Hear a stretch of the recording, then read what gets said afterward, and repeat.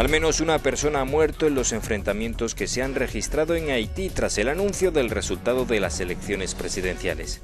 El candidato del partido gubernamental, Jovenel Moïse, a la izquierda de la imagen, se verá a las caras el mes que viene en segunda ronda con Jude Celestin.